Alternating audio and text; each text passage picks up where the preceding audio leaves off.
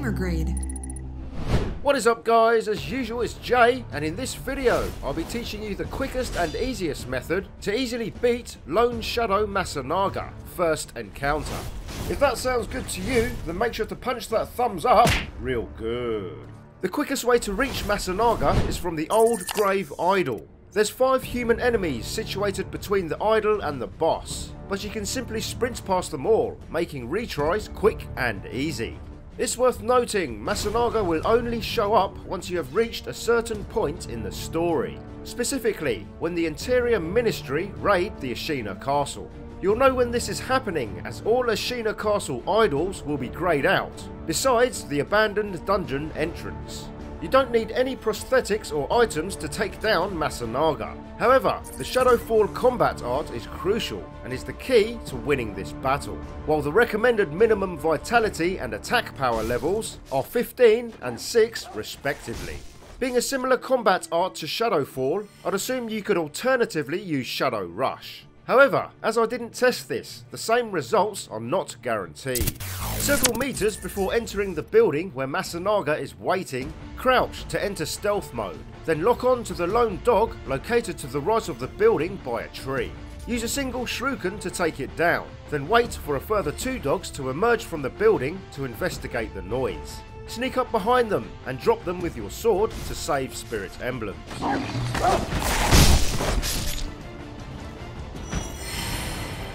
Once the dogs are dealt with, jump up to the walkway, sneak up the stairs and round to the side. Here, you can sneak round the back and behind Masanaga undetected, to perform a stealth death blow, halving the difficulty of this battle. While he's recovering from the death blow, quickly perform a Shadow Fall combat art, making sure to get in 3 to 4 hits that damage his vitality. Then quickly sprint away, leaving the building and back up the slope where you came from. Stop and turn shortly after passing this wooden archway to lock on and track Masanaga's position. He should stop in his tracks and start slowly backpedaling as soon as he reaches the archway you just passed under. As he's retreating, walk toward him but not too close as to trigger an attack. As soon as you're within range, perform a Shadowfall combat art. Charging it up will significantly extend its range for no additional cost in Spirit Emblems. As soon as the combat art connects, attempt to get in as many vitality damaging hits as possible.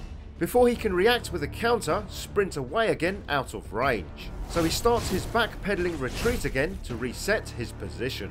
Simply repeat this hit and run approach until you can perform the second death blow, or you run out of spirit emblems. If you do run out of emblems before his health depletes, then swap out the Shadowfall combat art for the emblem free Whirlwind Slash. The Whirlwind Slash will damage his vitality through his guard, hits twice per use, and possesses a decent attack range. Simply repeat the Whirlwind Slash using the exact same hit and run tactics of the Shadow Shadowfall, all while he's backpedaling to reset his position. This will quickly chip away the little remaining health he has after the initial Shadowfall assault. For beating Masanaga, you'll receive two yellow gunpowders as well as a prayer bead Upon his death, the Great Serpent Shrine will once again become accessible for travel.